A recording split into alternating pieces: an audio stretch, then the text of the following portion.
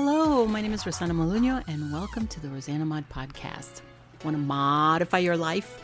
That is corny, but I'm going to keep it in there. This variety show brainstorms solutions for everyday challenges, unlocks your secret potential, think outside the box with creative ideas that improve your business and your life. Get inspired with special guests, get motivated with how to projects for the whole family, and learn that life is too short for anything less than being happy. Laugh with me or at me, it doesn't matter. Somebody's going to laugh.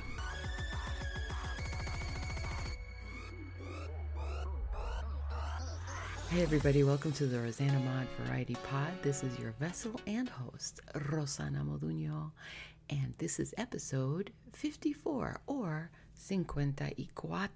Before I start my top 10 uh, sexy snacks to serve your dates, before that, I want to update you on my Amazon Handmade interview and how that went a couple of days ago, which you know I had online through Zoom you know, it, they said it was an hour, about an hour, but it only took me about 20 minutes to get verified.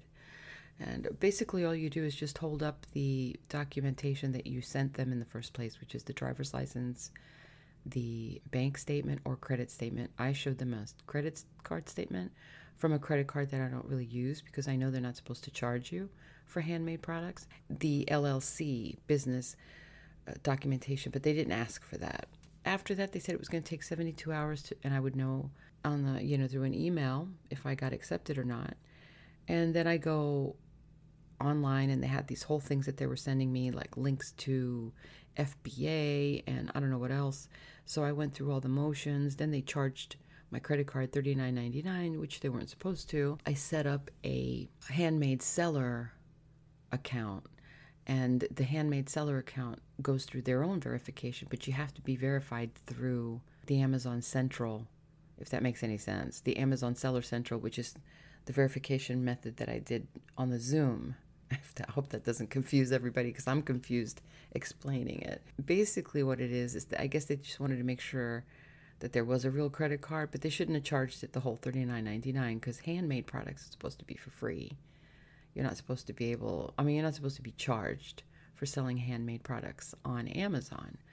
Therefore, I had to email them and tell them, you know, I was charged. I applied for the handmade seller, which is different than the regular seller, and they just sent me an email this morning saying, "Hey, congratulations. Welcome to Amazon Handmade. I'll let you know when I get the refund on the $39.99." That's all I wanted to update you on. Let's start with our 10 sexy snacks to serve your date. Just 10 simple snacks that you can serve guests. Maybe if you have a get together for some work buddies or some friends that are hanging out, you know, uh, and you don't know what to put out on the table. So you don't want to make a big meal or anything, something easy. Uh, easy to clean up, you know, that everybody likes. Number one on that list is strawberries and chocolate. So you buy the chocolate syrup that hardens on the ice cream. That's the kind that you get. You get a big flat dish, set a wax paper down on it. It doesn't have to be wax paper, but some you could even put, you know, whatever. But you don't want to put paper towels because the paper towel is kind of a, uh, you know, it'll stick. So what you do is you pour the syrup into a cup.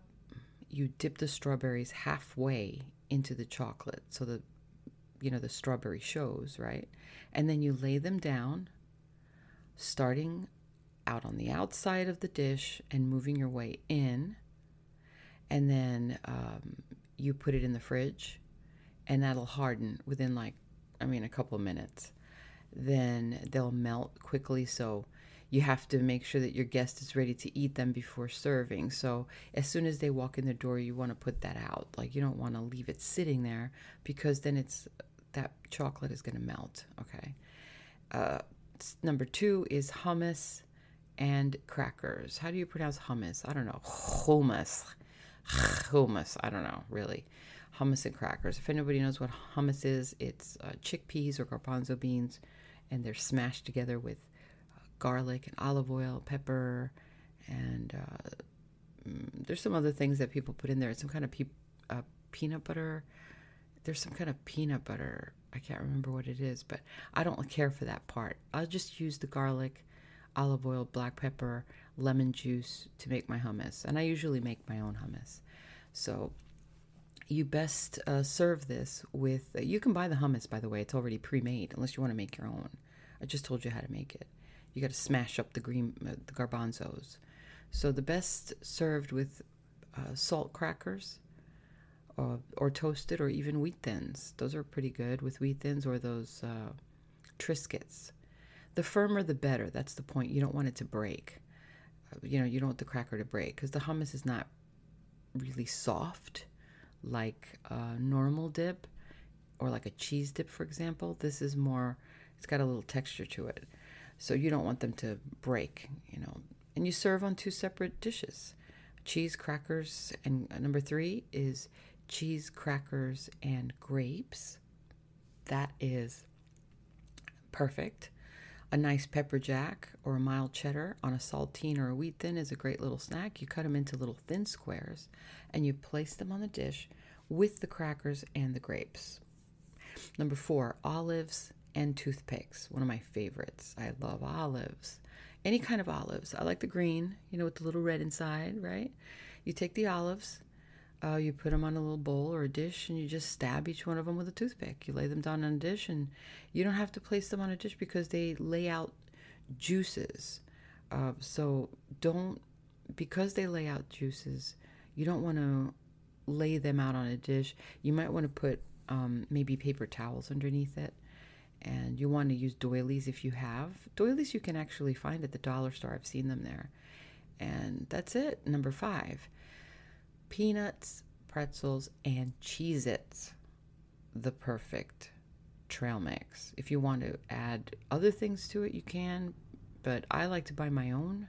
One bag of each, you know, pretzels and Cheez Its. And do it yourself. They already come pre made for some of you that want to get the, the trail mix or the whatever, the Chex mix. But you can also make trail mix. You can add peanuts, you can add raisins to that if you wanted. You can add um, M&Ms and put it all together. And that's a nice little snack for everybody.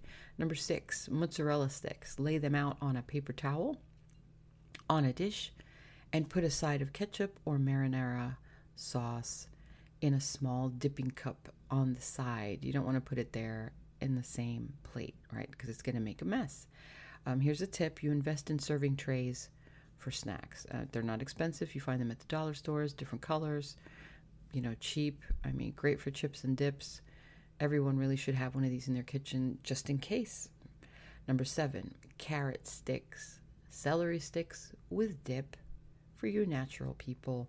And I like to add broccoli to this raw broccoli and raw cauliflower. And you can cut them into small little trees, you know, cut them smaller and put them on the side. That's also good. You just slice a few carrots the long way. You stick them in a tall glass of water filled halfway and you leave it in the fridge until the guest arrives so it keeps it nice and cool. And you do the same with the celery sticks.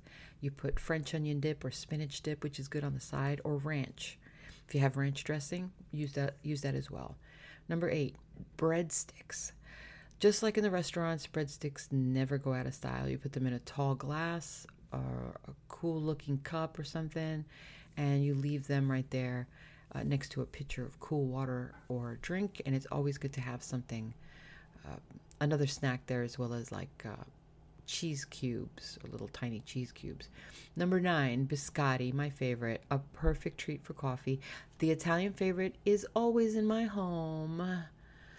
Not the biscotti, though. I'm joking. There's really no Italian here. But anyway, they even have a chocolate covered uh, biscotti now, which I love, love, love, love, love but they have the plain ones, which are good too. Uh, you can either the, uh, lay them out on a dish, napkin, or upright in a nice cup. And I really like that look where they are up in a cup because uh, for some reason they, well, first of all, they take up less space. If you don't have a big table, you don't have a lot of room, you can pretty much put them anywhere. So, you know, and second of all, I just like the way they look. It looks like little flowers, you know, kind of like I don't know, they just look better. And last but not least are candies. Always have a dish of candy in your home every day, like you're like it's Halloween. Those little miniature fun size snacks, you know, the little Snickers, little M&M packs, little uh, Twix, whatever. Always have a bag of those mixed candies because you never know you have guests. And if you don't have the rest of the stuff, at least you have a bowl of candy to offer.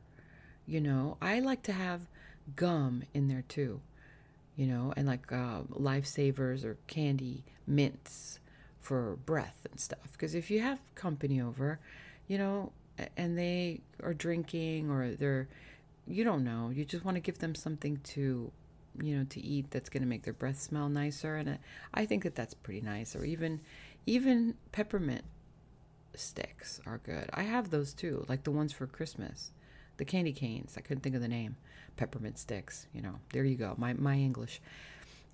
So you always have a bowl of mints you know like the after dinner mints just before kissing um, make everybody relaxed i mean if if you're going to kiss your guests i don't know if you have maybe you have just one guest or have maybe you have multiple guests. I don't know. Listen, I'm not in your business. You take care of yourselves, okay?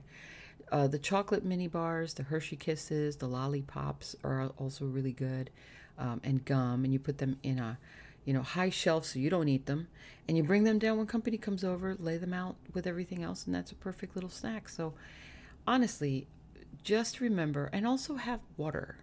Also have bottles of water in the fridge. I always have bottles of water in the fridge for guests.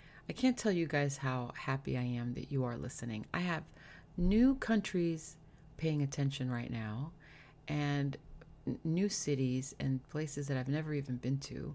And I think that that's pretty awesome. And it's, I don't see who is listening, just so you know.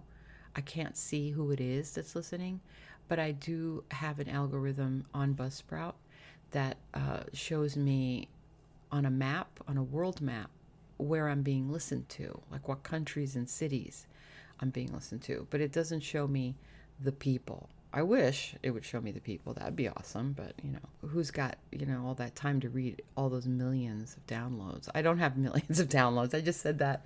I'm manifesting my, you know, like in The Secret, I'm manifesting, I'm bringing it in. Thoughts become things, thoughts become things. Okay. I hope you enjoyed this uh, little Friday food day for you. And tomorrow is my Spanglish, Saturday Spanish, so I have a surprise there for you too.